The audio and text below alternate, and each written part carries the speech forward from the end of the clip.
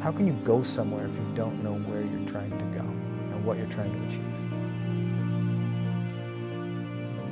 I always like to say that the secret to success is doing a lot of little things consistently over a long period of time. Like people see the headline, the 50, Yeah. but they don't realize there was a decade that went into that. Of training and building up to it. Everything, you know, you can only get so physically fit for a challenge, and then at that point in time, your mind and your body have to come into alignment, and then the mind takes over. And, uh, you know, one of the biggest questions I get is, how do I come or become mentally tough? And, uh, you know, a lot of people say, oh, you're either born with it or is it something that you can develop? And I'm in the, the camp of it's, it's a development process. It's, anybody can do it. And uh, I mean, it started for me in seventh grade. Um, I grew up as a wrestler in Canada. And uh, I lost my very first match. In fact, I lost almost every match after that, the, uh, the entire season. Um, Why'd you keep going? yeah, I, I just, you know, I'm, I'm the type of person that I don't, I don't love to be defined by those moments. It was like the, fi- the 5K that I have from, or the four mile fun run. I don't like the word fun and run together. but it, either. Yeah, Yeah. yeah. How many people do you see running around smiling? Yeah. Um, but but for me, um, I, I don't I don't enjoy those moments to define me, and, and I wanna I wanna overcome that, and uh, and so I, I would wake up and study the sport and, and show up and, and you know that you always hear show up early and stay late, um, and and I really did that, and by the time I hit my senior year, I went undefeated, Wow. um, and it's not because I had any talent, um, it's because I was willing to show up. And so me, for me, that's where it starts. Everybody always says I have bad knees. And uh, I say you have bad knees because you don't run. And uh, because that guy right there in that stadium that couldn't get up and walk after his marathon shouldn't have had gone on and did what I did. Uh, which means also that I'm not talented or gifted. It was a, it was a process that I went through and figured it out. Uh, I was I was obsessed with, with, with not with that not being my defining moment, right? A marathon was the pinnacle of running at the time, and I only gave myself five months to get ready for it. And um, I, I coach full time now with athletes, and one of the biggest things I try to get people to do is back down off the inspiration and let's build a foundation.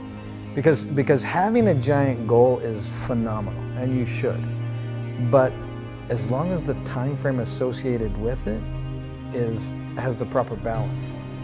Because when I when I did the first world record, uh, had I had the idea to do 50 consecutive, it still would have been a great goal, but not in that year. I had to go through the process and take my knocks and learn and evolve and grow to get to that point where I could even, you know, toe the line for 50. How much of the learning and growing was your body growing and getting stronger and more capable, and how much was knowing how to deal with what you were going to go through mentally?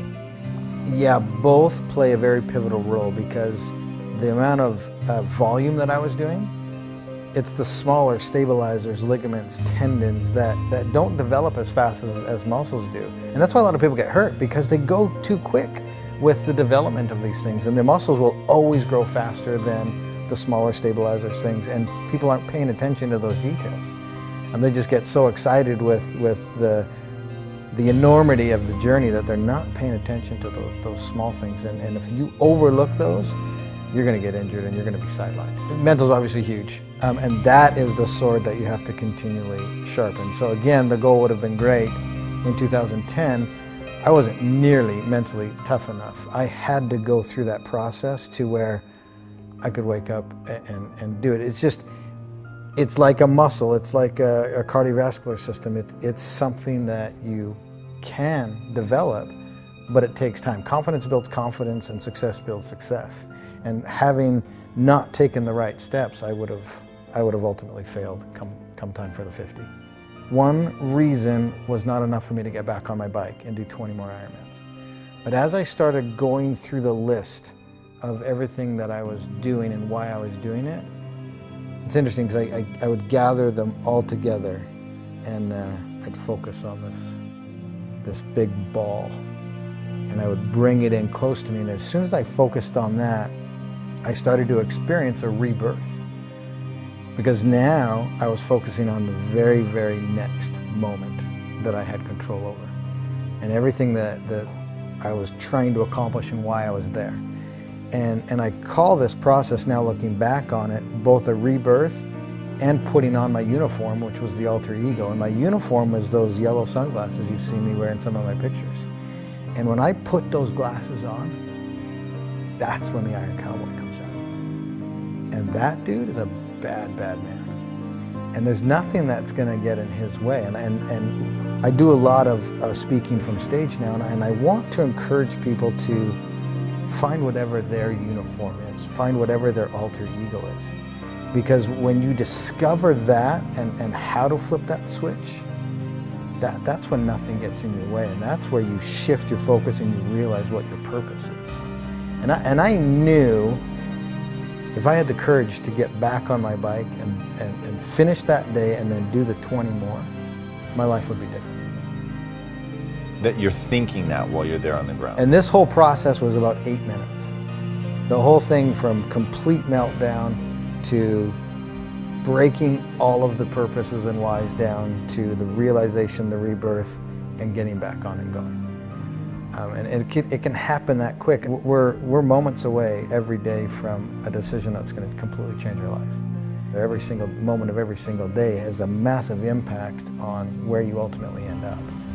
And so that was a huge turning point, but it was all the decisions before and after that led to that moment.